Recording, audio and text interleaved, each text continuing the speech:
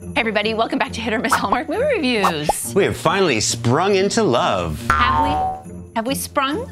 I'm sprung. Have we sprung a leak? Oh, I guess. I feel like I was so confused the past couple of weeks. I wasn't sure if Hallmark was airing older movies that I just didn't recognize or remember at all, which was actually the case. So I thought that they were new. it was just all over the place. I was so confused. It was.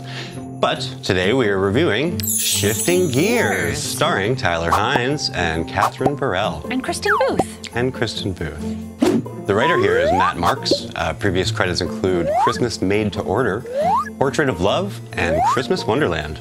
And the director, well, actually, something very cool about this movie involving the director, uh, Young K. Crystal Lowe from Signed, Sealed, Delivered, makes her directorial debut as the first participant in Hallmark's Make Her Mark Woman's Directing Program, founded by no other than Ashley Williams. Pretty awesome. It's awesome. Uh, Crystal's success marks the conclusion of kind of like the pilot phase for this program, but the program will continue and it will be opening up to other up and coming women directors outside of the Hallmark circle. That's very exciting. I think it's important to acknowledge this before we talk about the movie um, because it's great and it's a positive thing for the future of Hallmark. And the moment this initiative opens up, I will be first in line. I know I, I am just, I know maybe I'm supposed to keep that private or whatever, but like I, I'm just gonna share it to the world. I'm so excited for this. It seems like the stars are aligning here, kind of. Indeed, they are. I mean, that, yeah, it's definitely great news. Uh, I, I wonder if the program will ever like broaden to include like screenwriting, producing, knows, and other probably. jobs. Why not? Seems, seems like great. a good avenue. I hope they move forward along and keep opening it up. Yeah. Me too. So, what's this one about? After female mechanic Jess reluctantly agrees to participate in a car restoration show, she is shocked to learn that her ex boyfriend Luke is the main competitor. Will sparks reignite? Another Another- win for IMDb. Yeah, real. Great synopsis. Always. Um, now, now, before we get into what we think, Okay. I think it's worth mentioning that this was filmed in good old Ontario, where we are right now, just up the street. Well, just five five hours up the Five street. hours up the street. um, and both Kat and Tyler are from Toronto as well. Uh, so there was an opportunity for them to have some family and friends come out to the set. I know that Tyler's mom was out for at least one of the shoot days, and Tyler's nieces were actually in one of the scenes.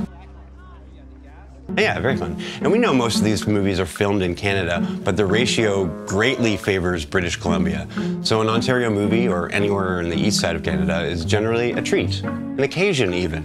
nice. But that leads me to an unfortunate realization that really hurts me to say. Oh no. I'm not a big fan of Hallmark movies made in Ontario or Eastern Canada, this side of Canada. That sounds like a huge generalization, but unfortunately, it pretty much rings true, for me at least. And it always Okay. it always comes down to production quality. It only takes like a minute or two before I can tell, and I'm already looking up where the movie was made because I know it wasn't made out west. And usually it's even quicker than that because we know the production companies. I said this on the Hallmarkies podcast. Which we were on just this past week. Yeah, I don't know how to put it other than they look more Canadian. They look more Canadian. They look like Canadian television. but we should be happy about that. Yeah, but I mean, it's just, uh, you know, the ones shot out west have this filmic quality to them. Aside from the story or acting, they can still be trash movies, but they look right. And I just don't get that from the movies shot out here. And it kills me to say that, but when it comes to Hallmark, Eastern Canada is always going to be second unit to the west. Fair enough. I mean, I do kind of agree, and I, I see your point. And my point actually actually goes towards the Crystal Lowe thing, but I'll talk I'll talk about that. Okay. But what was the last movie that you loved? Oh yeah, right. I, the last movie I know that I loved that was filmed in Ontario was Noel Next Door. Okay, so it's not all bad. No, of course, but I mean I can't think of another one. Neither can That's I. the only one but I know. just, I'm I just drawing a blank on what's Yeah. been filmed in so Ontario. if, any, if yeah, if anybody knows, I'd, I'd love to be proven wrong. But um, There's a bunch, though. I'm pretty sure there's a bunch. But anyway. yeah, no, there is. All right, I get what you're saying. All right, so what do we actually think? So, shifting gears. Okay, what, what we have here is star-crossed auto mechanic high school sweethearts. Greasy. Yeah. Uh, you know, it just makes me go, hmm. Things that make you go. Okay, I'm not interested. All right. That's awful to say, but like, just based on the plot, I'm not really interested. Okay, first off, I have mentioned in our reviews more than once if I see one more mechanic in a Hallmark movie, I would turn it off. Yeah, I mean that was that was in the Christmas rush when there was like multiple Too many. mechanics. I but we it. do have a woman mechanic here, so I guess that's different enough. Yeah. Um, so okay, I'll, I'll let it slide. But okay, overall, you know, I think we have a very familiar narrative and a motif with maybe a slight twist, like we just mentioned. But I just think it's been replayed countless number of times, and I'm kind of tired. I'm kind of tired of the same old. Which, and and I would say that this story, subpar story, that is elevated slightly by performances Fair. it's yes I, it's it's a tried and true formula but i am tired of this formula uh, all the tropes are there Sh- shall we go through the tropes here Fair. okay we have a family business in jeopardy estranged high school exes we have a contest slash reality tv show uh, the grief left behind after a mother's passing a big misunderstanding uh, we have a fair and you know we have uh, a relationship that quickly resolves itself and we have a happily ever after ending Yeah. Oh, and an extra happy ending. and an extra oh yes two Um, double whammies two yeah. double extra happies It definitely felt like sort of an old school one that was just thrown in there. I mean, I was getting real Christmas contest vibes from this one, which is not a good thing. It's not a good thing. You know, for, for something that is part of this brand new initiative, I was just hoping for something new and exciting. And, you know, it, I don't think we got that, unfortunately. I would have to say, I think Tyler is the saving grace in this movie. You know, because because this is what I think. It can be a very bad movie, but nine times out of 10, you're going to watch it because he's in it. He's always the same. Yes, granted, he's always the same. But I think that's what we like about him, uh, you know, even down to the toothpick. When we now when we see the toothpick, it's like, oh, okay, yes, it's it's Tyler. But if I want to take a more critical look at it, I am tired of that too. Yeah, I was gonna say, as Rachel said on the Hallmarkies podcast to us, uh, I think the cool guy Tyler shtick is starting to get a little stale. It's not always necessary. Like when he rode up on the motorcycle wearing the business suit in the intro, I was like, oh God, why? what is the purpose of that? Look, he looks great. I know, but it was stupid. It, it didn't. It didn't. It wasn't required. He looks good, but it's it's over the top. Yeah, I want to see, I want to see a more vulnerable Tyler, less cool guy Tyler. He's inherently cool anyway. You cannot. Yeah, you can't you uncool can't him. Scrub that off of him. No. So you don't really need to exaggerate it like they did in that scene. Place and time, right? I, I I don't know. I don't think it was absolutely needed here. I hmm. think I actually think he's a great actor. I think he deserved a better role in a better movie. And I that, I don't mean that to sound as harsh as it sounds. I understand why they used him. Like logistically, you have a built-in audience who love him, so that automatically sets this up as a winner for Hallmark, right? Yeah, but that's the thing. And here's rant number two. Okay. Um, I feel like this was meant to be a gimme for Crystal Lowe for that reason alone. It's like, oh, here you go. Don't worry about it. She's got Tyler. I think Hallmark and Make Her Mark probably thought they were doing her solid, but I kind of feel like they did her dirty instead. Sure, they gave her the A-list actors, but they gave her a B-list location, B-list production team, and B-list story, Story. for sure. Yeah. Should have been the other way around to really give her new directing chops a go. So I don't think she was totally at fault here. But she's brand new um, to this, right? Well, I know she's done a few short films, and but you know, to do a full feature production on Hallmark with so many constraints that you're working with, I'm sure, in terms of logistics, in terms of like even people saying, you know, higher up people saying what they expect. Yeah. Like there's so many um, hurdles to overcome. So sure, it's a daunting task, and I'm not saying it's easy at all. But Oh, definitely not. I mean, But- and, also that being said, I didn't hate this movie by any means. No, you didn't. You But liked it more than I o- other did. than some, uh, other than some good performances and a few cute moments, this one didn't shift my gears. No, that, that doesn't sound. Right. This one didn't rev my engines. Ah. no, it's still too. it's still too. Yeah, I don't like that. I didn't like it. We don't like to bash any films. We're filmmakers. We know how hard it is just to create like a 10 minute short. Oh, so, sure. But yes, we do poke fun at some silly plot holes or continuity errors, stuff like that. All in good fun though. So I'm hoping it's not coming off as too too I don't know. harsh. You still got a review, right? We still want to give a, uh, a critical review, analysis, whatever we do here, you know, to, to the movie. But while watching this, I think we were actually enjoying the fun and sometimes poignant dialogue. So the, the actual dialogue in this movie I thought was actually good. Well, cars don't cause pain. They also don't love. One that I really liked is uh, when Jess was like, "You look like you sell bonds." that was like the motorcycle thing. I That was like, yeah, why do you look good. like that? Uh, another great line. Um, I- I'm paraphrasing this, and I'm probably getting it wrong. We actually discussed it on the Hallmarkies podcast, but Hmm. oh, he was like, I, "I don't really take sides," but then she was like, "You know, maybe that's the problem. yeah. Like you're just kind of aloof or whatever, you know." there were definitely some good lines here and there. Yeah. Uh, this one was particularly good. I may have lost the most important person to me. But I'm gonna do everything that I can to make sure she doesn't lose the most important thing to her. I thought that was nice. Yeah, that was good.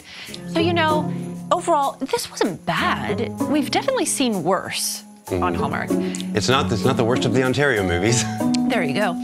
But what I think is heartbreaking for me here is, you know, I really wanted to love this one, being the first movie from the Make Her Mark initiative.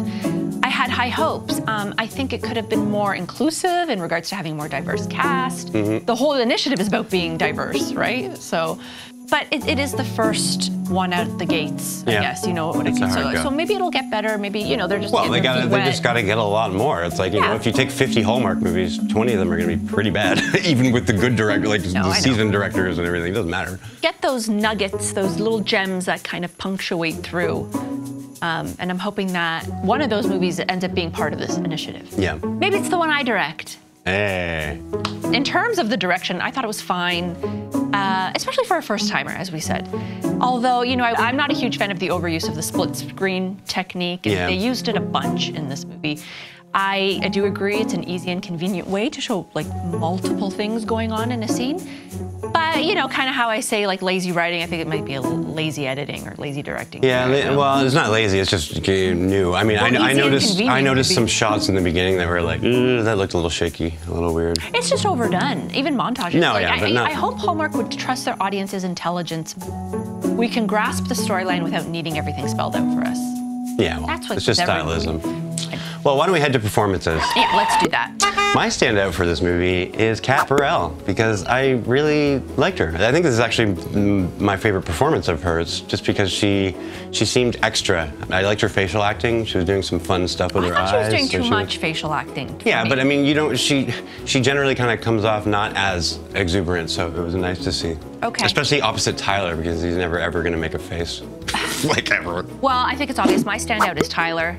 I think he, kind of like Bethany Joy Lenz, kind of like elevates any story that he's given. I do want to see him flex his chops more, though. I, I am, as I said, tired of the cool guy, Tyler. I have seen him be really romantic, really like vulnerable, really just like, uh, just like melts your heart kind of Tyler. And I Not miss really in a that. few years, yeah. I really miss that. I, I like I like seeing him on screen. Hmm. My standout here. I get excited when he's on screen. Like, Fair. Yeah. Uh, why don't we head on to nitpicky, hitpicky? Okay, a hit. There were some great music choices in this one, like I said off the bat. Um, there was some nice Motowns.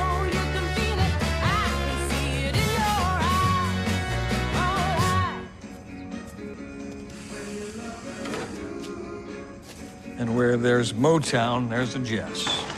songs whenever she was working on her cars. And I thought that was cool. I liked that. All right, Nit, the music. they Oh, replayed they replayed two of those tracks like 10 times in the movie. I was getting real annoyed actually.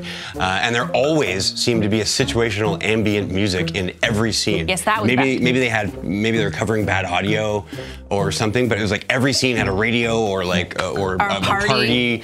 Uh, there, there was one really funny one where Tyler was giving a heartfelt moment outside by the campfire or whatever wherever it was. We And- couldn't hear it. And then it was like a disco party. I, I was just thinking about the time we went camping at Lakeport. I've mm-hmm. never seen so many stars.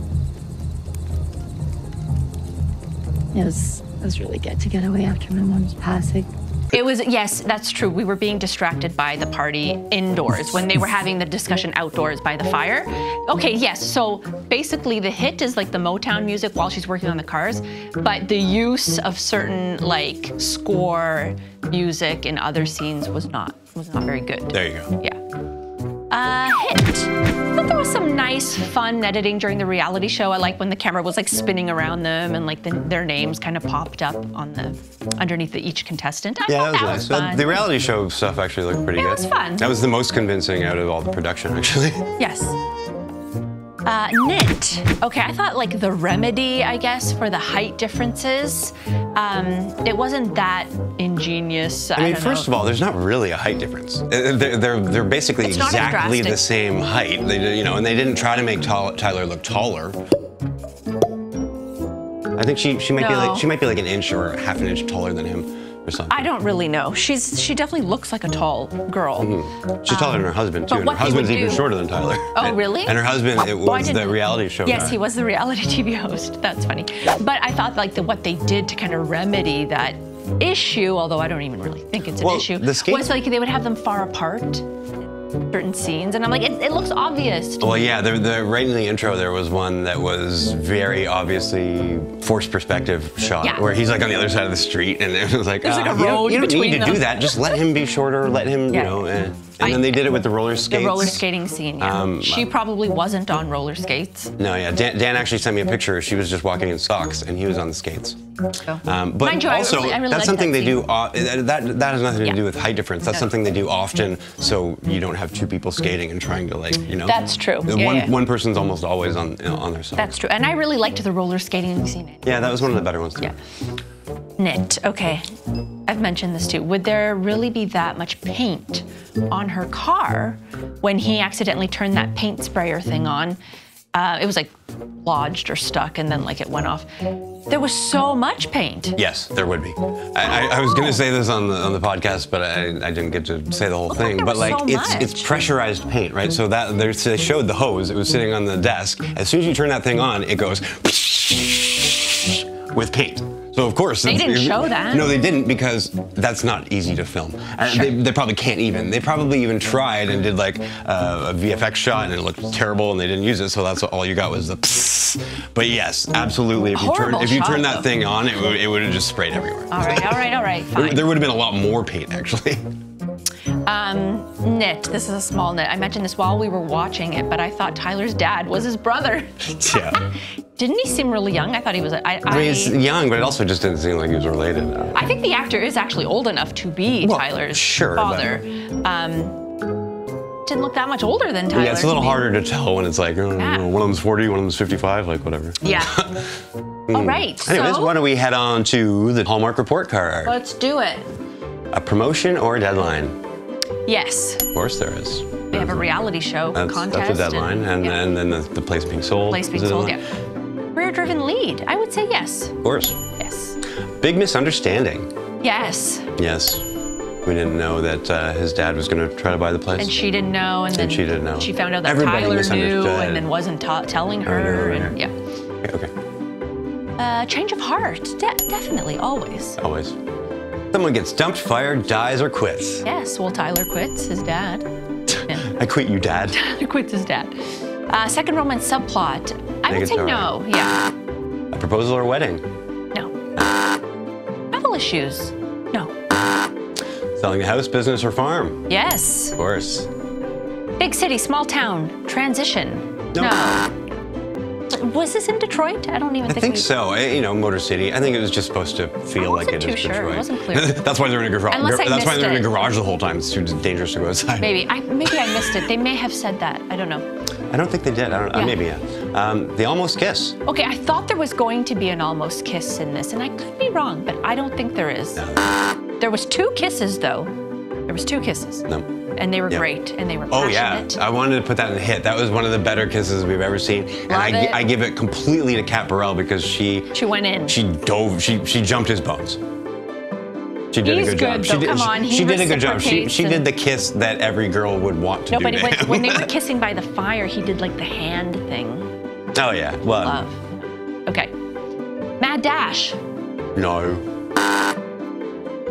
No, They she was kind of like, the- oh they never yeah, even left to building. How could you do Mad Dash? Yeah. okay. Um, you got this. Well, not No. in so many words, but he at the contest he does say, "There's the girl I know," or what. You know Yeah, what he I said mean? something like it, but something no, along it's the gotta lines be- it's gotta be dead It's on. not the exact, so no. We're not You got this or I got this. Yeah, yeah. So, did this hit or miss the hallmark for you? I hate to say this, but this was a miss.